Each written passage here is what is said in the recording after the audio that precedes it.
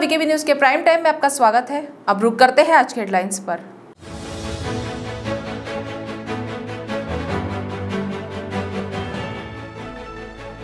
नागपुर के बेजनबाग में गौतम बुद्ध व डॉक्टर आंबेडकर की प्रतिमा का अनावरण।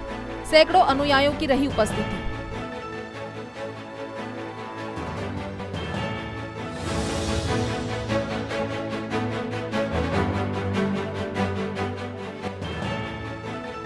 कांग्रेस प्रदेश अध्यक्ष नाना पटोले का रक्षा मंत्री राजनाथ सिंह पर निशाना।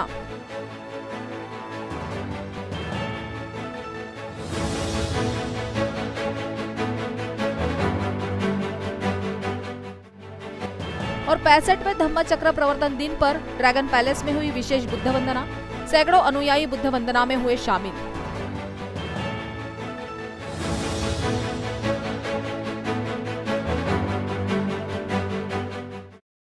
और अब खबरें विस्तार से। युवा भीम मैत्रेय संघ व उपासकों के विशेष प्रयत्नों से बेजनबाग मैदान में धम्म चक्र प्रवर्तन दिन के अवसर पर तथागत गौतम बुद्ध और डॉक्टर बाबा साहेब आम्बेडकर की प्रतिमा का अनावरण किया गया। इस कार्यक्रम में बड़ी संख्या में अनुयायी उपस्थित थे। परमपूज्य डॉक्टर बाबासाहेब आंबेडकरांचा परमपूज्य डॉक्टर बाबासाहेब आंबेडकरांचा परमपूज्य डॉक्टर बाबासाहेब आंबेडकरांचा परमपूज्य डॉक्टर बाबासाहेब आंबेडकरांचा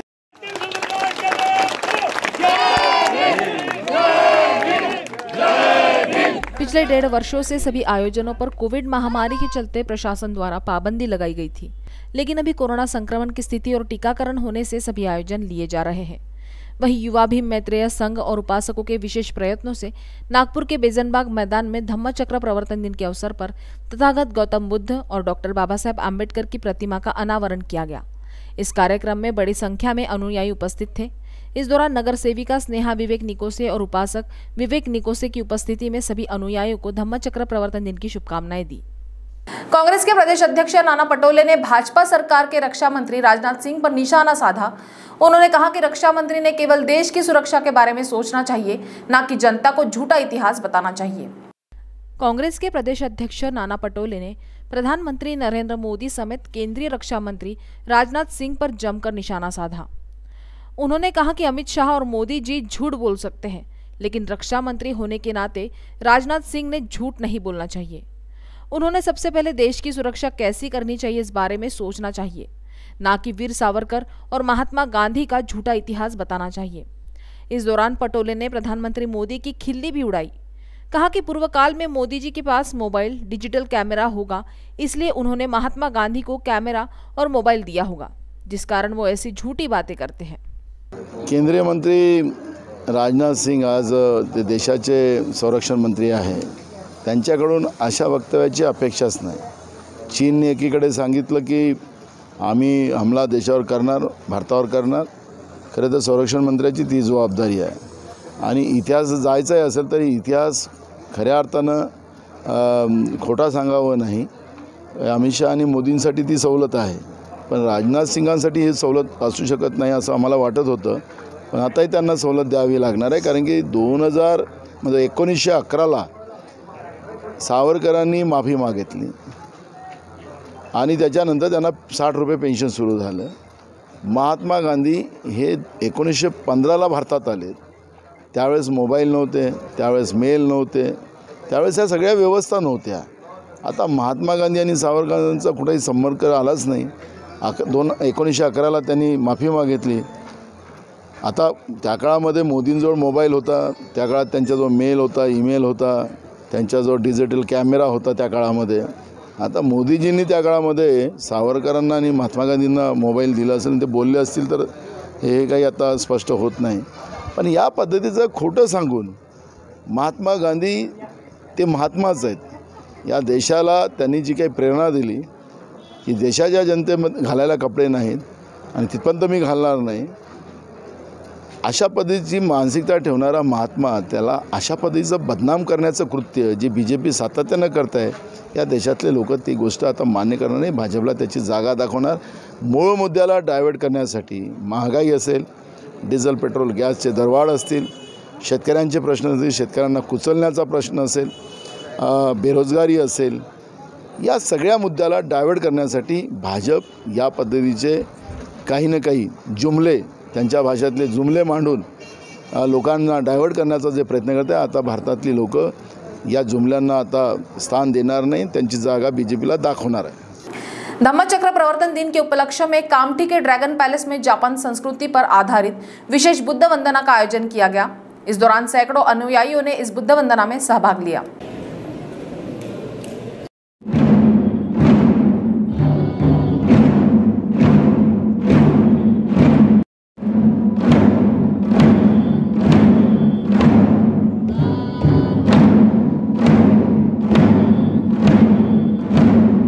पैंसठवें धम्मचक्र प्रवर्तन दिन पर नागपुर ज़िले के कामठी स्थित ड्रैगन पैलेस टेंपल में धम्मचक्र महोत्सव का आयोजन किया गया। इस दौरान थाईलैंड से आए हुए भदंत ब्रह्मा निपोन के प्रमुख उपस्थिति में पूर्व राज्य मंत्री और ड्रैगन पैलेस संस्थापिका सुलेखा कुंभारे के हाथों ड्रैगन पैलेस में स्थित डॉक्टर बाबा साहेब आम्बेडकर के स्मारक को माल्यार्पण किया गया। साथ ही पंचशील ध्वजारोहण किया गया, जिसके बाद ड्रैगन पैलेस में विशेष जापानी संस्कृति पर आधारित विशेष बुद्ध वंदना की गई। इस दौरान सैकड़ों बुद्ध अनुयायी उपस्थित थे।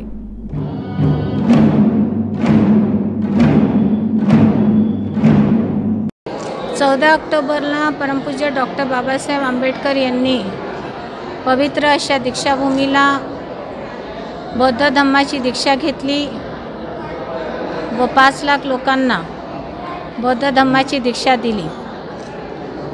या पावन दिवशी केंद्रीय सामाजिक न्याय एवं अधिकारिता राज्य मंत्री रामदास आठवले ने धम्मचक्र प्रवर्तन दिन पर संबोधित करते हुए कहा कि वे डॉक्टर आंबेडकर के विचारों पर चलकर देश की सेवा कर रहे हैं। साथ ही डॉक्टर बाबा साहब का सपना साकार करने की ज़िम्मेदारी उन पर होने की बात उन्होंने कही।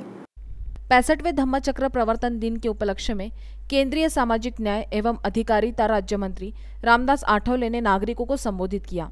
इस दौरान उन्होंने कहा कि डॉक्टर आंबेडकर ने दलितों पर हो रहे अन्याय, अत्याचार को रोकने के लिए धर्म परिवर्तन किया था।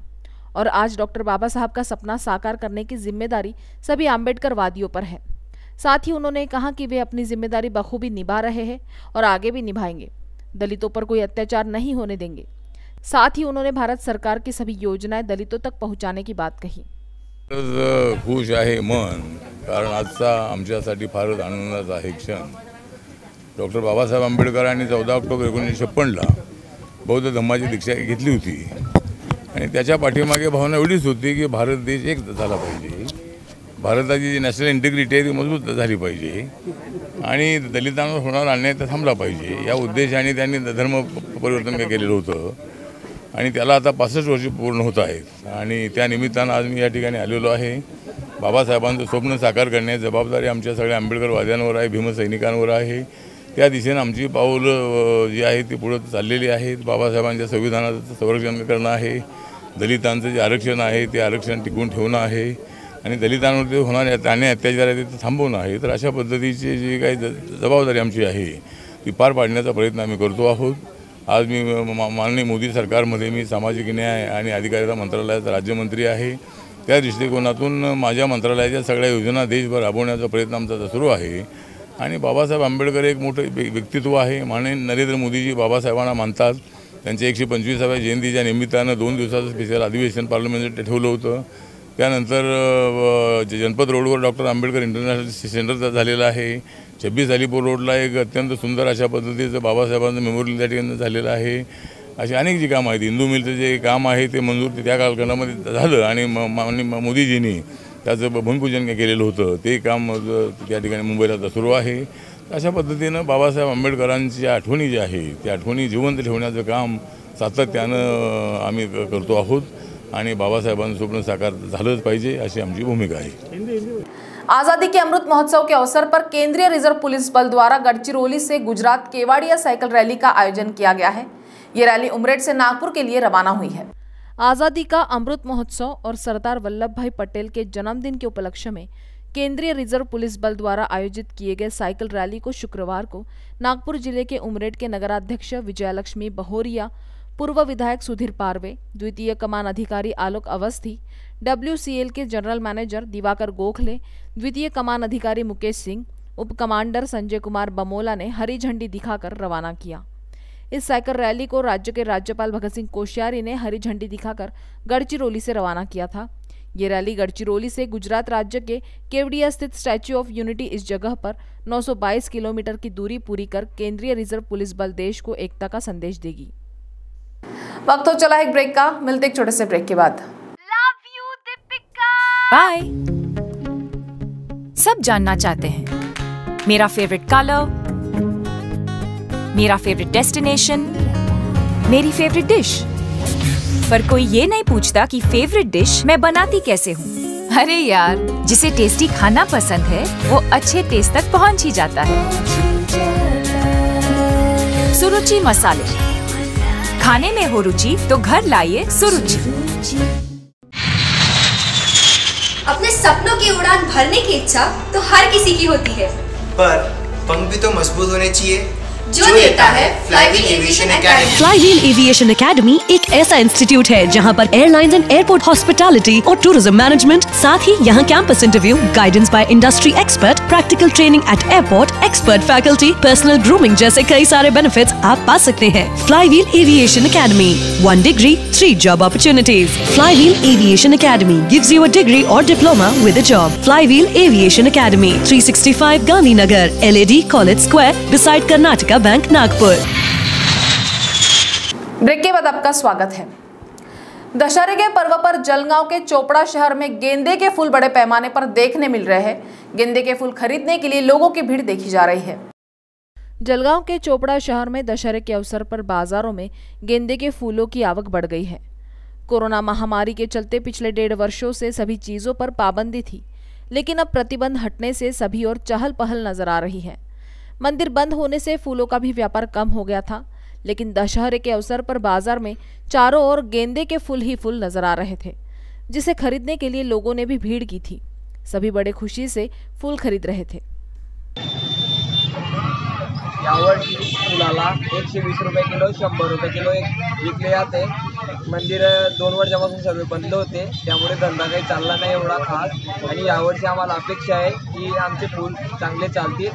बस एवढीच अपेक्षा आहे आमची हवी की शंभर रुपये किलो ऐंशी रुपये तरी विकली जायला पाहिजे. शेतकऱ्यांचाही फायदा होईल. त्याच्यामध्ये व्यापारींचाही फायदा होईल. एवढी इच्छा आमची आहे. आता काय किलो विकताय आपण? आता आम्ही एकशे वीस रुपये किलो विकते त्यानंतर आम्ही जसं मार्केट बघून आम्ही शंभर रुपये ऐंशी रुपये असं विकू. सर आम्ही त्या भावा पन्नास रुपये बोलले ते. पन्नास रुपये किलो नाही म्हणायचा तो पण चाळीस बोललो मी तर चाळीसच्या भावाने ऐंशी रुपयाची दोन किलो घेतली. नागपुर के पालक मंत्री डॉक्टर नितिन राउत ने प्रदेश के कई जिलों में कोविड संक्रमितों की संख्या अधिक होने का हवाला देते हुए दीक्षा भूमि पर कोविड प्रोटोकॉल का पालन करने की अपील की। उन्होंने कहा कि इसी वजह से धम्मचक्र प्रवर्तन दिन समारोह को टाला गया है। दीक्षा भूमि आने वाले अनुयायियों का स्वागत है, लेकिन खुद के जीवन की रक्षा के लिए कोविड प्रोटोकॉल का पालन करना होगा।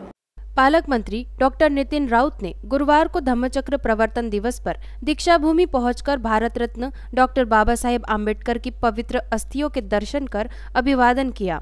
पत्रकारों से चर्चा करते हुए उन्होंने कहा कि समारोह नहीं होने पर भी अनेक अनुयायियों के शुक्रवार को दीक्षा भूमि आने की संभावना है। इससे पहले दीक्षा भूमि परिसर में परम पूज्य डॉक्टर बाबा साहेब आम्बेडकर स्मारक समिति के सदस्यों एवं वरिष्ठ अधिकारियों की मौजूदगी में शुक्रवार की तैयारी की समीक्षा की गई। बैठक में विभागीय आयुक्त प्राजक्ता लवंगारे वर्मा, जिलाधिकारी विमला आर, पुलिस आयुक्त अमितेश कुमार, सह पुलिस आयुक्त अस्वती दोरजे, मनपा आयुक्त राधा कृष्णन बी, एनआईटी के सभापति मनोज कुमार सूर्यवंशी दीक्षा भूमि स्मारक समिति के सचिव डॉक्टर सुदीप फुलझेले, ट्रस्टी विलास गजघाटे, नामदेव सुके, विशेष पुलिस महानिरीक्षक नवीन चंद्र रेड्डी आदि मौजूद थे। पालक मंत्री ने अधिकारियों को दीक्षा भूमि कामठी स्थित ड्रैगन पैलेस एवं कोराडी के देवी मंदिर में नागरिकों की सुविधाओं की नियमित समीक्षा के निर्देश दिए। चौदा ऑक्टोबर एकोणीसशे छप्पन रोजी याच दीक्षाभूमीत विश्वरत्न परमपूज्य डॉक्टर बाबासाहेब आंबेडकर त्यांनी आपल्या लाखो अनुयायांना या भूमीमध्ये बौद्ध धम्माची दीक्षा देऊन त्यांना मार्ग दाखविला होता. एक नम्रतापूर्वक विनंती आहे की त्यांनी या ठिकाणी येत असताना नियमाचे तर काटेकोरपणे पालन केलेच पाहिजे. परंतु ज्यांनी दोन डोजेस घेतले असतील त्यांनीच दर्शनासाठी या ठिकाणी यावं कारण केंद्र सरकारचा नियमच तो सांगतो आहे. आणि तिसऱ्या करोनाच्या लाटेचं या ठिकाणी पदार्पण होत आहे अशी परिस्थिती राज्यात निर्माण झाली असताना आणि अहमदनगरसारख्या जिल्ह्यामध्ये आठ तालुक्यांमध्ये त्या ठिकाणी इमर्जन्सी लावण्यात आलेली आहे. या करोनाच्या काळामध्ये एक प्रकारे त्यांनी त्याचं पालन करावं. तर हे सगळं बघितल्यानंतर मला या ठिकाणी आमच्या समस्त बौद्ध बांधवांना आणि भीमसैनिकांना सांगावं सांगावंसं वाटतं की येताना आपण मास्क लावा डिस्टन्स मेंटेन करा. हातसुद्धा आपले सॅनिटाईज करून घ्या. आणि दोन डोस घेतले असतील तर तुम्हाला या ठिकाणी आतमध्ये यायला कोणीही थांबवणार नाही. आपलं स्वागतच या ठिकाणी होईल. आणि एक अमूल्य संधी आपल्याला या ठिकाणी प्राप्त झाली आहे. त्याची आपण निश्चितच लाभ घ्यावा. तद्वतच ज्यांनी दोन डोजेस घेतले नसतील किंवा ज्यांनी एकही डोस घेतला नसतील अशांसाठी सुद्धा जिल्हा प्रशासनाने व्यवस्था केलेली आहे. त्यांनी त्या संधीचा सुद्धा लाभ घ्यावा. त्यांचं व्हॅक्सिनेशनही होऊ शकतं या ठिकाणी. त्यांना टेस्टिंगही करता येऊ शकतं. ह्या समस्त सोयी या ठिकाणी के करण्यात आलेल्या आहे जिल्हा प्रशासन ही आपल्या सहकार्यासाठी आहे. आपल्या विरोधासाठी नाही. मग ते पोलीस प्रशासन असो की नगर प्रशासन असो की जिल्हा प्रशासन असो ही सर्व मंडळी आपल्याला सहकार्य करायला या ठिकाणी आहेत. आपण कृपा करून त्यांना वेगळ्या विचारात बांधून घेऊ नका भावनिक होऊन समजू नका की ते तुम्हाला विरोध करतायत. केवळ ते तुम्हाला मार्गदर्शन करतायत की तुम्ही जर कुठं चुकत असाल किंवा दिसत असाल तर निश्चितपणे तुम्हाला ते समजावून सांगण्याचा प्रयत्न करतील. आपण त्यांच्या मार्गदर्शनाचा सन्मानच केला पाहिजे कारण ते लोक सगळे आपलं कर्तव्य बजावतात त्या ठिकाणी. आणि बाबासाहेब आंबेडकरांनी संविधानातच सांगितलेलं आहे की जे लोक आपलं कर्तव्य बजावतात त्या सर्वांना आपण सॅल्यूटच केला पाहिजे. जेव्हा आपण या मातीला वंदन करायला या ठिकाणी येत असतो तेव्हा प्रशासनाला सुद्धा आपण सहकार्य करावं.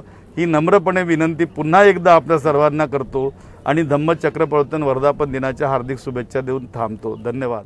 नागपुर में Nag Vidarbha chamber of commerce के अध्यक्ष अश्विन मेहाड़िया के नेतृत्व में प्रतिनिधि मंडल ने जिलाधिकारी विमला आर को होटल व रेस्टोरेंट का समय रात 11 बजे तक बढ़ाने की अनुमति देने हेतु ज्ञापन सौंपा।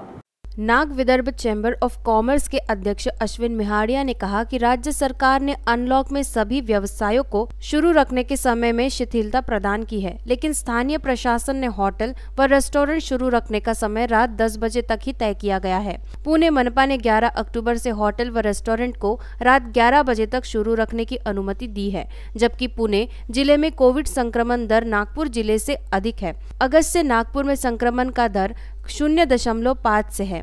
चैम्बर के सह सचिव स्वप्निल अहिरकर ने कहा कि गत वर्ष भी होटल इंडस्ट्री को नवंबर 2020 से अनलॉक किया गया था। वह मार्च से जुलाई 2021 तक लॉकडाउन के साय में रहा।